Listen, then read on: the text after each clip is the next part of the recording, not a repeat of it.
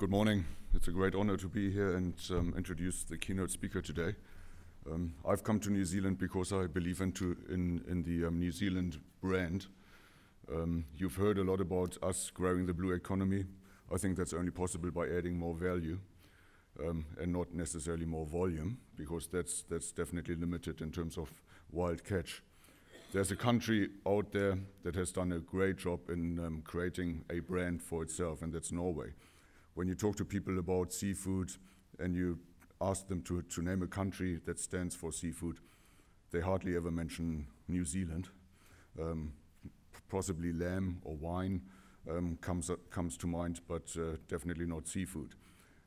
However, we have a great story to tell, and um, how to do that, um, I hope we can learn from uh, Terje Martinussen today. Terje is an authority. I've met him the first time during my time in uh, Germany. He was the director of the Norwegian Seafood Export Council at that time and um, impressed me with the fact that um, he really promoted the Norwegian brand, um, Norge, seafood from Norway. And um, I look forward to hearing more from him now that he is in charge of the Norway Seafood Council as a whole, and that already for quite some years. He started off as a fisherman, so he really is an authority when it comes to seafood and, and has, has a good story to tell us. Terje, thank you for coming here. Um, I'm, I'm very proud of being able to actually get you here to, to um, New Zealand. Um, you've been in seafood all your life, really, and um, I look forward, and I would think everybody else here, to hear what you have to tell us and how seafood has become um, a brand for Norway and Norway a brand for seafood that we can only learn of in future. So please welcome Terje Martinussen.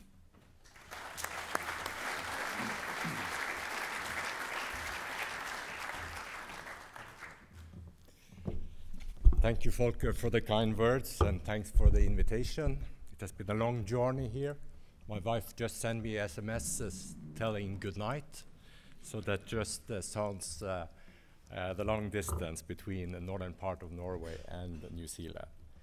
Uh, interesting to listen to the Prime Minister. I then realized that we have a lot in common. We have the best world seafood. we both want to grow the seafood sector, and he also expressed how important it is with market access. That's also the challenge to the Norwegian seafood uh, industry, how to get good access to uh, markets worldwide. Um, I'm very inspired by being here, and I met a lot of nice people eating the delicious uh, New Zealand uh, seafood.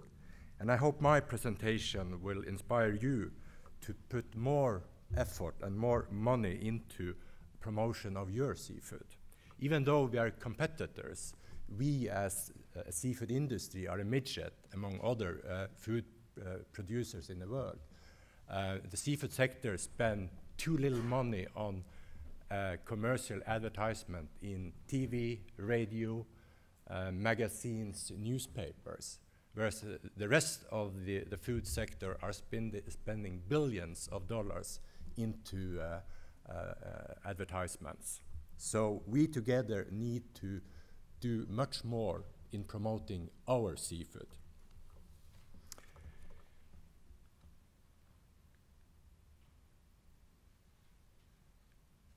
So I have put on the agenda for my presentation today. Uh, I will start uh, telling some, uh, give some information about the size of the Norwegian seafood sector, I will then talk about uh, how we have built a brand for, for Norwegian seafood and also um, presenting to you the, my organization, the Norwegian Seafood Council.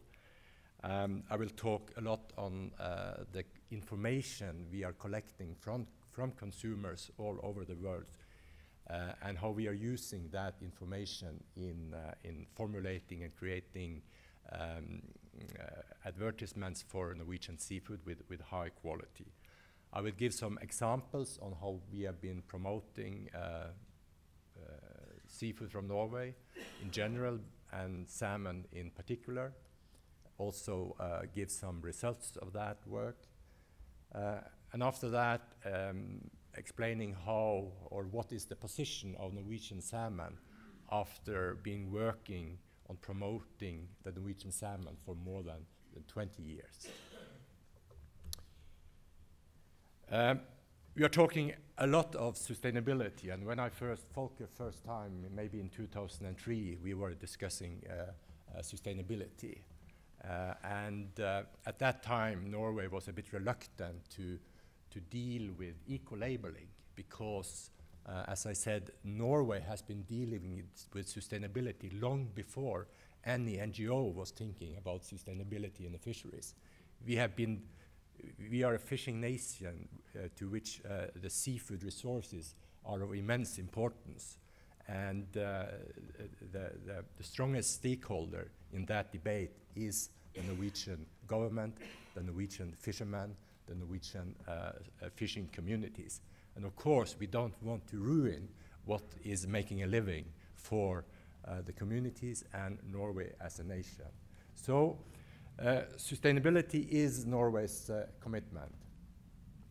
Uh, and it's also um, interesting to see how, how NGOs are evaluating the efforts Norway have made in, all, in order to, to strengthening the important fish stocks of Norway.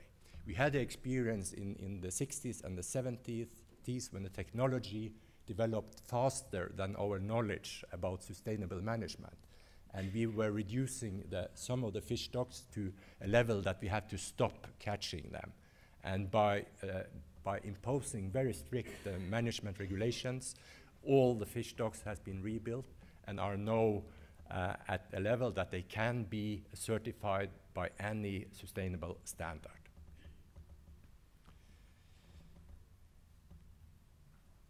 It's a little bit slow, this.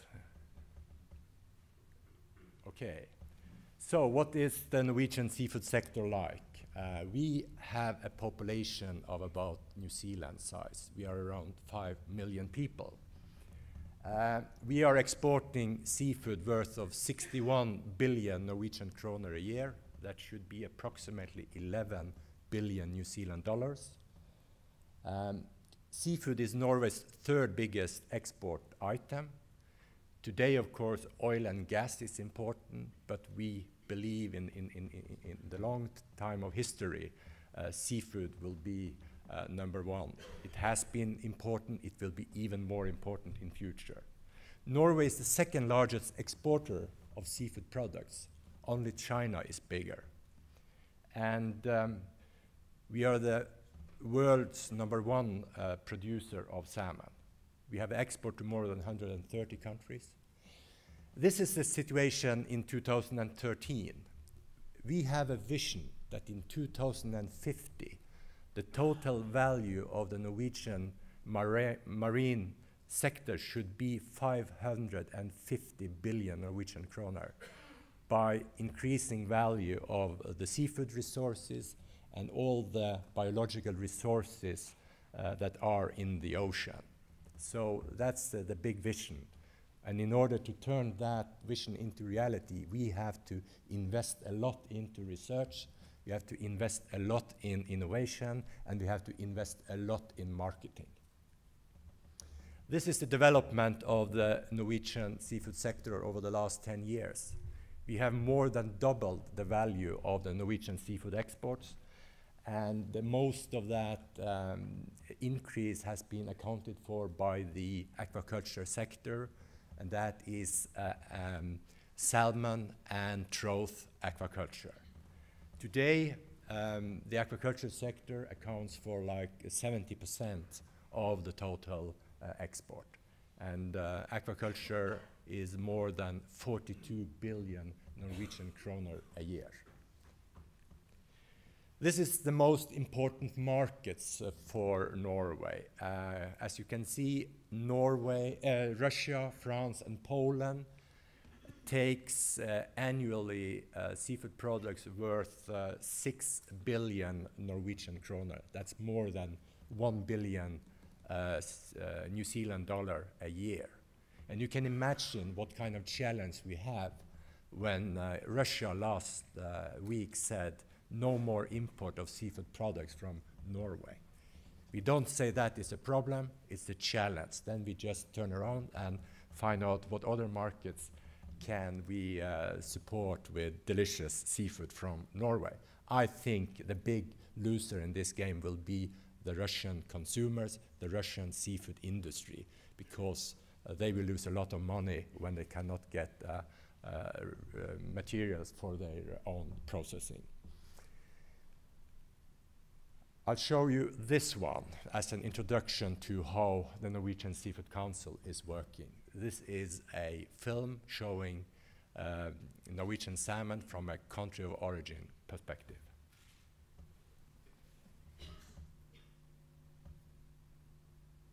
Do we have sound?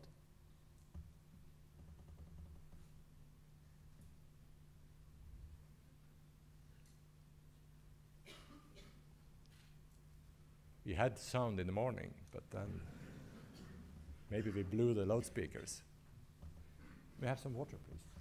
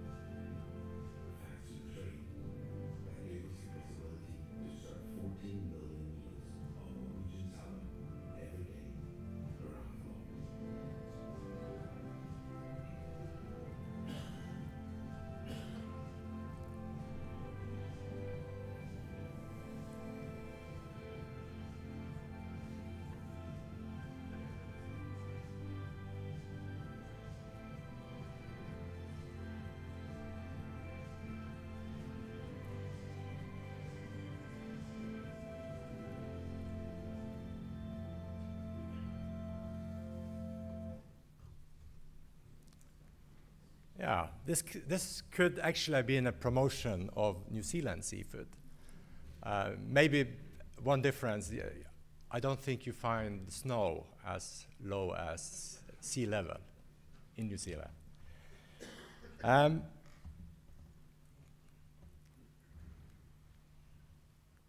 yeah, this was one. Um, the Norwegian Seafood Council was established in 1991. We are a 100% uh, governmental owned uh, company owned by the Ministry of Trade and Fisheries, but we are 100% financed by the industry through a levy. Each exporter have to pay 0.75% of the export value to the Norwegian Seafood Council in order to promote uh, generically uh, Norwegian seafood. We have an annual budget of around 500 million Norwegian kroner. That should be some, some 90 million uh, New Zealand dollar. And um, we have offices in 13 markets around the world, investing in some 20 important markets to uh, Norwegian uh, seafood. Um, when promoting Norwegian seafood, we have uh, three uh, basic or three fundamental uh, conditions. One is the nature. Uh, we think we have perfect conditions for both wild resources and uh, aquaculture in Norway. We have the people uh, that has been working with seafood for generations. We have acquired knowledge, and in addition to the um, the experience from one generation to another. We have invested a lot in research and science in order to improve uh, the seafood industry. And we believe it's right to say that, that Norway have invented the modern uh, salmon aquaculture. And uh, even though we are investing a lot, there are much more to do in order to improve uh, the, the technique of, of aquaculture. And the third element is the sustainability. We believe that we can't be a seafood nation without uh, taking care of, of, of, the resources, taking care of the nature. So that is basic when we are, are promoting uh, seafood from Norway. So um, what is the achievement? Um, we have been working uh, more than 20 years, and when we ask consumers in important market uh, for the 20 most important markets for Norwegian seafood, what do they believe, uh, or, or, which country do they associate with when they think of seafood? And Norway is number one. Uh, if we were to ask people in Asia, then Norway would be number two, second to Japan. And down on that line, you will find New Zealand, uh, I think, on, on place number 12, if you, are, if you are talking about Asia as a market. Um, why is this uh, association to Norway important? Well, we believe that uh, knowledge about the country is basic if consumers actively is going to, to buy a Norwegian salmon or Norwegian seafood products. Without this knowledge, they will be not uh, conscious about uh, what kind of, uh, of seafood they would buy. We are talking about sustainability, and um, the Norwegian Seafood Council is working on making sustainability um, uh, relevant as possible for both consumers and trade. And in this advertisement in France, we are focusing on su sustainable, controlled, and know-how-based farmed farming under ethical and, and natural conditions, resulting in a very high-quality product with great taste, taste and a high uh, nutritional value. And Norway and New Zealand uh, are among the leading seafood nations in the world, especially when it comes to sustainability. But the question is, how can we make our sustainable regime uh, relevant uh, to the consumer? In order to answer that question, we have to realize how the consumers are thinking when they are buying seafood.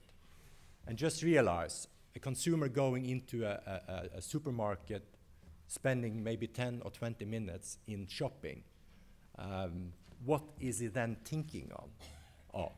Is, is, are, is his concern then environment? Is his concern health?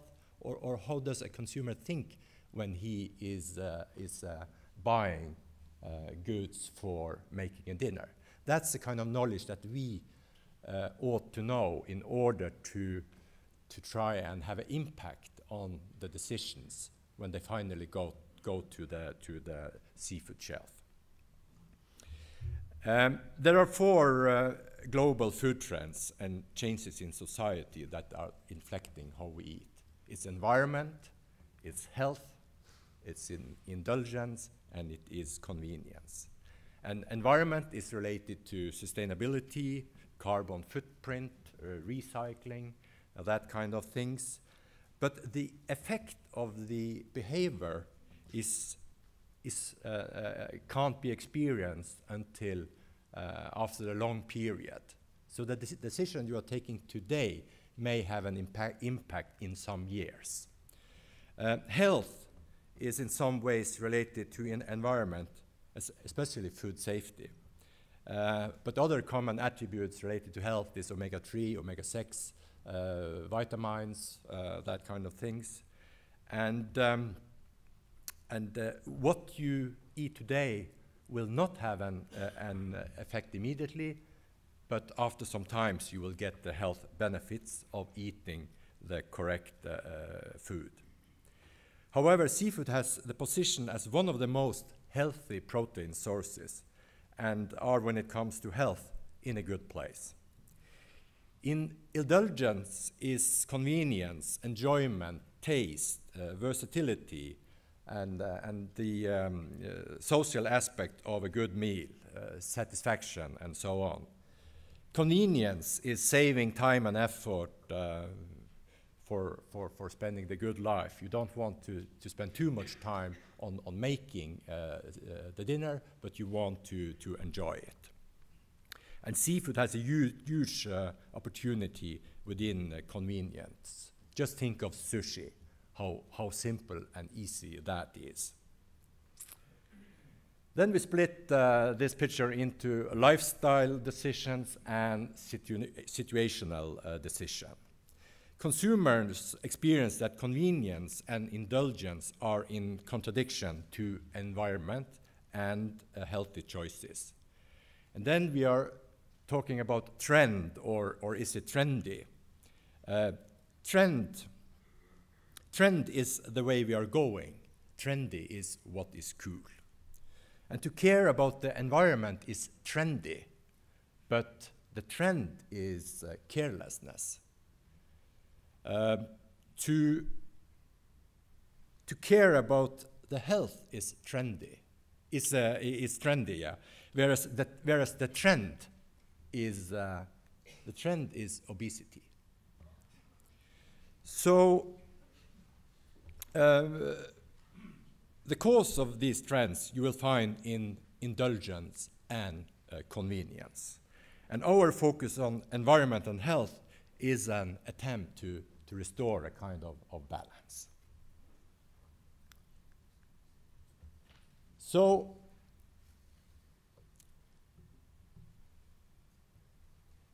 what are the concerns uh, among consumers when it comes to seafood decisions? Well, they will separate the different um, uh, questions into uh, concerns uh, in the outer circle is the concerns for uh, the world around me. Then we have the concerns for other people and animals. We have concerns for me and my family. And in the inner circle is actually the concerns for me and my family. What am I going to have for dinner today? Um, so you see, in, in the inner circle, we are concerned about the quality, the freshness, the taste, uh, inspiration, that kind of things. And then we come with uh, the health benefits, the beauty. Uh, in, in outer circles, we have things like ecological, uh, production methods, uh, fair trade, and in the outer circle is sustainability, energy use, recycling.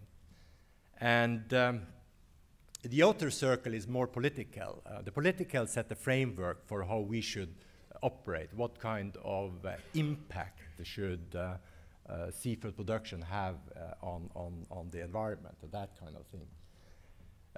and when we talk to consumers, they will have some ideas about what sustainability is. It's a, it's a difficult concept. Uh, they will have some ideas that sustainability is linked to ecological, it will be linked to production methods, to, uh, to catching quotas, uh, to the feed formulas. Um, but how important is that to in, the, in the buying situation? So what, what we have to do is to make sustainability relevant to the consumer. We have to guide them so that they have an understanding that the, product, the, the products we are producing are sustainable, they are natural, they, they have uh, food safety in hand, and they are uh, delicious. So that is the challenge for us as consumers to make this relevant uh, to, the, to the consumer. And we need to work together with the retailers um, and producers that are interested in doing sustainable choices. So what we see is that more and more, um, so this was an example how we are making sustainability relevant to the consumer.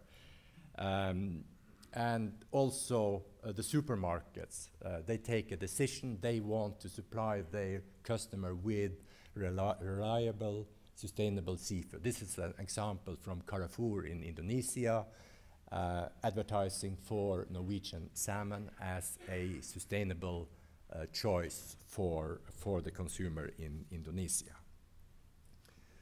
So we have, to, we have to guide the consumers. It's not enough to put ecological or sustainable on the package. You have to, to work much harder on that issue in order to get the consumer realizing that you are actually the one that are producing something that is important uh, for them, for his and his family. Okay. Norway or the Norwegian Seafood Council, we have access to what I would say is the world's uh, uh, best uh, seafood consumer database. Uh, we are investing a lot of money in, in getting market information from our uh, 20 or 22 major markets.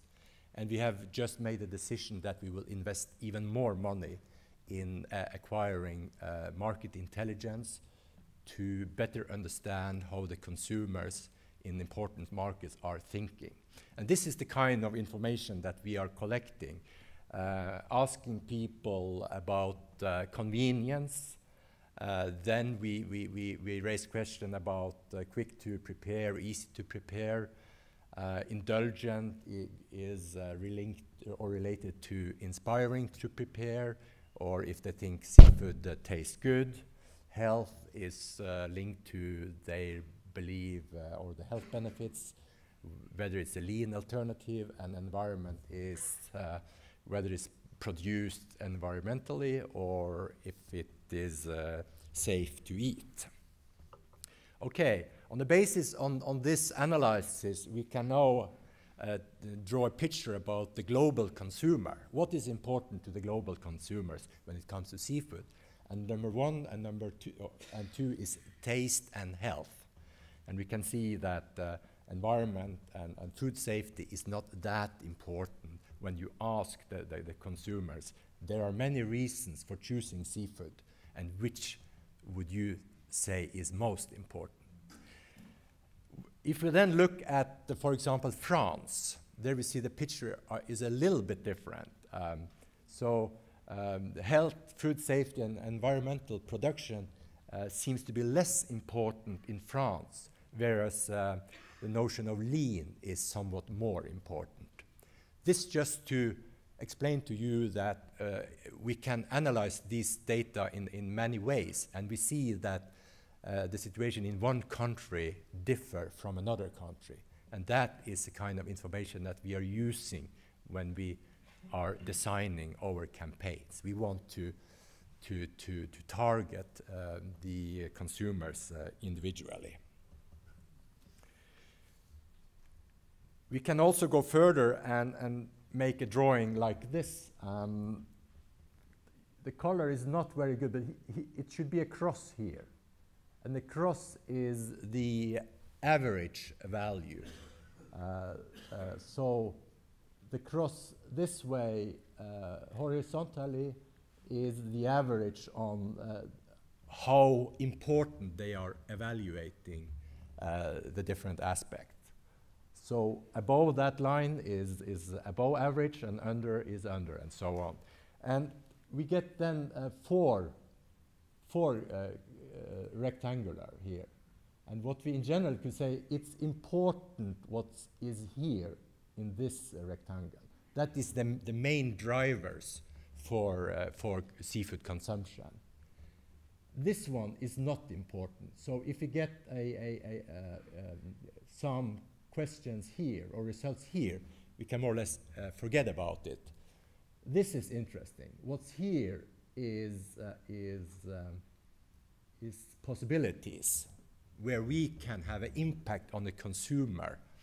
So he next time will, will evaluate uh, the product in a different way. So, um, uh, globally, uh, taste and health is important.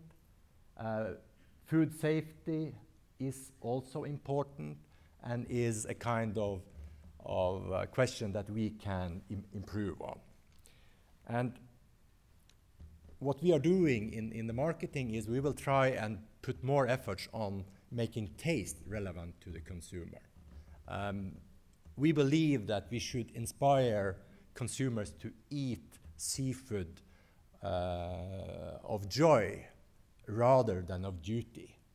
They should not feel uh, obliged to eat seafood because it's healthy. No, we should learn the, the consumers to eat seafood because that's tasty, that's the, the, the best uh, delicious meal you can ever have. Uh, also, food safety. We see in some countries we can make that more relevant because we are producing safe seafood and we can prove it. And then we can, we can also inspire, say, Japanese consumers to buy Norwegian seafood since food safety is important in Japan. We have to tell them about how safe our seafood is. Okay, uh, we see also that um, uh, indulgent is, in, is important. Inspiring and taste together is indulgent. And that is something we are using when it comes to the marketing of cod. We had the problem in Norway that cod, which is our most important uh, groundfish species, that came together with other what we call cheap whitefish. And we would like to, to emphasize uh, the benefits of cod compared to, to, to whitefish. We don't want our cod to be, to be mentioned as a whitefish, because when I hear the word whitefish, I think that is very cheap. So we created a story about the cod, the, the matured cod that comes to Norway for spawning. And in the old history, uh, the name of the cod was Skrei. And I think you have also a lot of stories about your seafood from ancient time that you can use in, in, in promotion. So we are promoting then cod as Skrei, and we have produced a special quality standard for that. And, um, and, and, then uh, promoting this to the best chefs in, in Europe we are inviting the chefs to Norway. They will learn how to prepare it when it's really, really fresh. Uh, this is a chef from, from UK, and this is a promotion we had at Harrods in, in London. And we have been working with this concept for more than 10 years. And what we realize is that it takes some years until you get uh, the benefits on what you are investing in marketing. And, and over the last two, three years, the export volume of Skrei and fresh cod from Norway have increased tremendously. So the next step will be to, to create more innovative products, not only whole, uh, headed and gutted fresh cod, but go more into fillets, uh, fresh loins, and so on. Then I'll talk about uh, a salmon campaign. Uh, we are investing uh, uh, a lot of money in, in campaigns for salmon. And in this campaign, we wanted to develop a regional concept where we can make one film and then use it in, in more markets. So this is a film created for Poland, Italy, and Spain. Just the language are, are different. And uh, the main idea here is to create awareness for Norwegian salmon and to create preferences among the consumers to eat Norwegian salmon. And this is how we are working. It's a whole integrated concept. I will in, in a minute show you uh, the film. So it will be a campaign with TV commercials. We are doing print advertisements in magazines, in newspapers. We are also working on with the digital media. We have our own websites, we have Facebook, we have YouTube, uh, and of course we have uh, store promotion with decorations in the shops with, uh, with tastings and so on. And this is the uh, advertisement.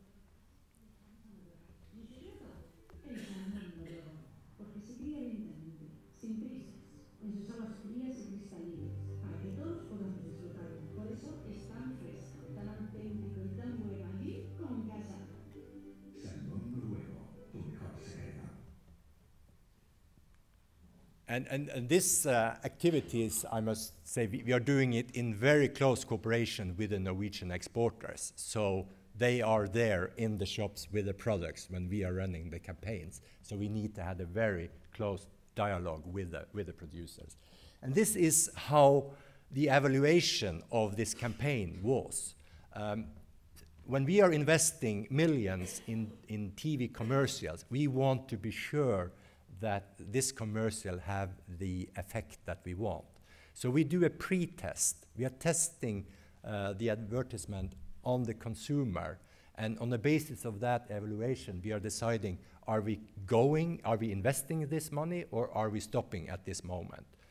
And this is the, uh, the uh, ad eval, and uh, it shows uh, compared to other advertisements uh, that they are doing in Europe, that this has a higher score than benchmark values.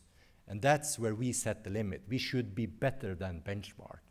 And we see that uh, the commercial works well in all the markets.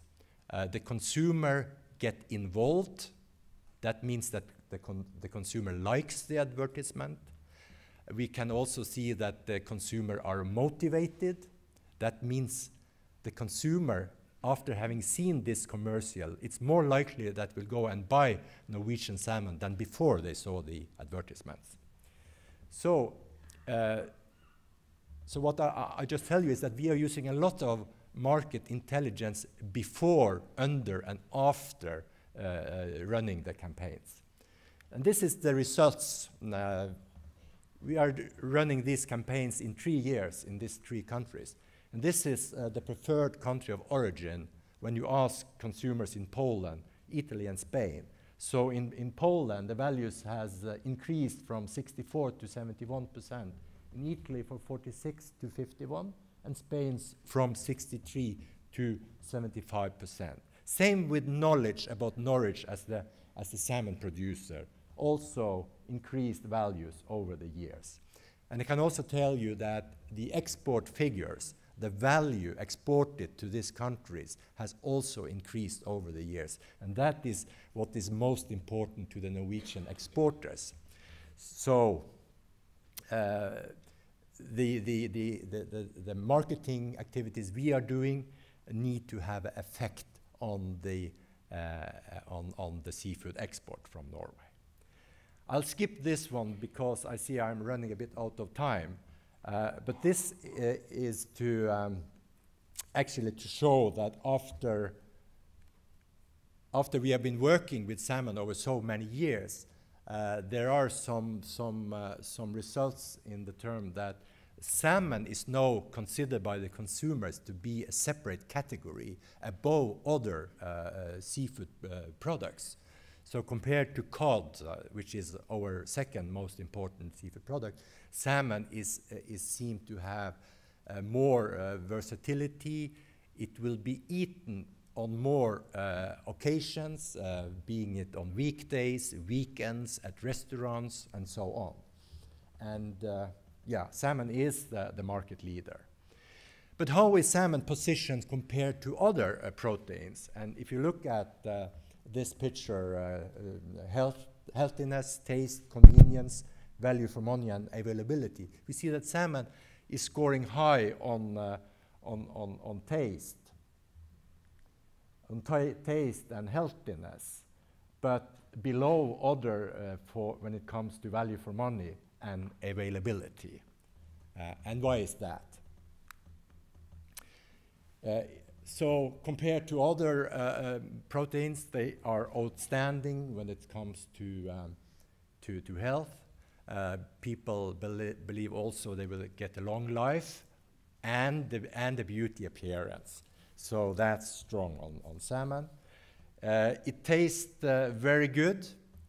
Uh, and, and, and what is very positive is that children of today, they eat salmon and they love salmon if I go a, a, generation back, there were hardly any children that was eating salmon. So that's to me a, a important message because in the future, when this generation grow up, I know there will be heavy salmon consumers among these kids that love, uh, love salmon.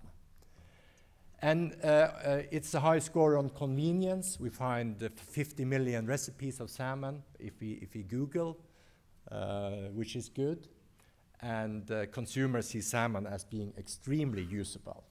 But there is still a lot to do in order to develop more products, uh, in order to make the consumer think that salmon is more available compared to chicken and beef. And also when it comes to price, um, uh, people think it's uh, a bit low on value because uh, compared to other uh, proteins, there are a, a, a not that uh, wide variety of, of products. I think also we can improve a lot uh, by taking this picture into account.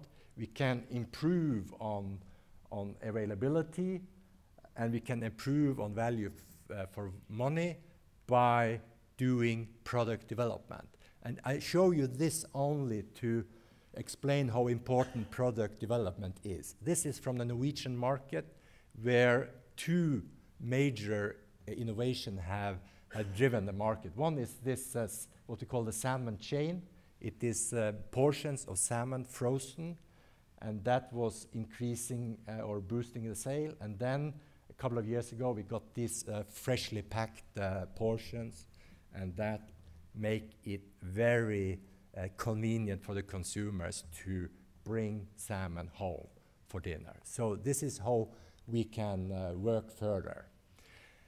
Okay, I see that the time is out. I, I wanted to explain a little bit about the seafood from Norway, how we are working when it comes to marketing, and how we have positioned uh, salmon worldwide in a very strong position compared to other seafood and also a strong position compared, co compared to other uh, proteins. I would just encourage you to invest in promoting seafood from New Zealand. Uh, I'm not afraid because I believe we should work together to make uh, bigger seafood markets and there will be more uh, enough consumers out there to, uh, to uh, give a good business both for uh, Norwegian producers as well as New Zealand uh, producers. So once again, thank you for inviting me and uh, all the best for the rest of the conference.